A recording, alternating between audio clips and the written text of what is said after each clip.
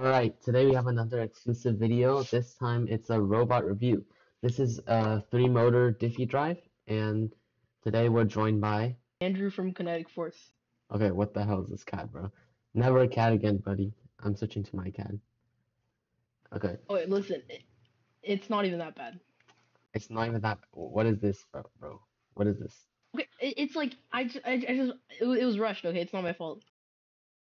Alright, I think this drive like really benefits teams without pneumatics since since this third motor powers both wheels while driving straight. You can kind of have that speed of a four motor drive, right?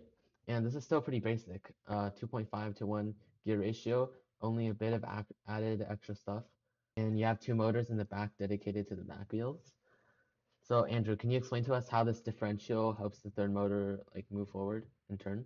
Yeah. So uh, basically, there's three motors, right? The two motors power each side. Um, those they, they stay there the entire time. The third motor it powers the differential in the middle. So when we want to power both sides at the same time, we spin our motor. It spins the blue gear, which spins the green gearbox, right?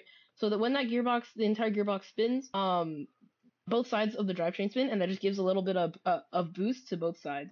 And we actually did a little bit of testing. Um, we use this on our 2.5, 3, 2, 2.5 to 1, 3 motor drive base. It's just as fast as a 4 motor 2 to 1 drive base in a straight line. So this is used on your flywheel bot, right? Yeah.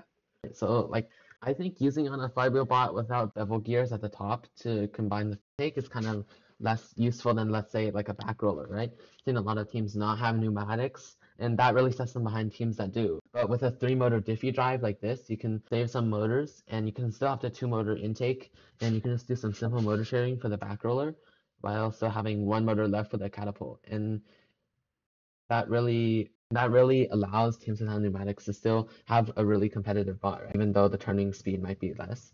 And I think this is a really good design, especially for doing cycles going forward and backwards. Uh, you're saving one entire motor for having the same speed going forward and back. However, there are some downsides, right? Like, you know, turning might be a bit scuffed, as you said. But still, this is an incredible design. Thank you for sharing this with us. And also, um, programming this, it's kind of weird. You have to like decide, um, you have to like check when you're turning, right? So as soon as you turn, you just like disengage that third motor, and that's like that's something that's was like so- somewhat of a challenge for us to program. But yeah, um, if you want this CAD, just join the Capped Pin Discord server in the description. Yeah, and we're also going to be hosting a game show where we judge VEX IQ robots, so make sure to join up in the description. All right, bye. Yeah, Big Boss Sigma. Okay.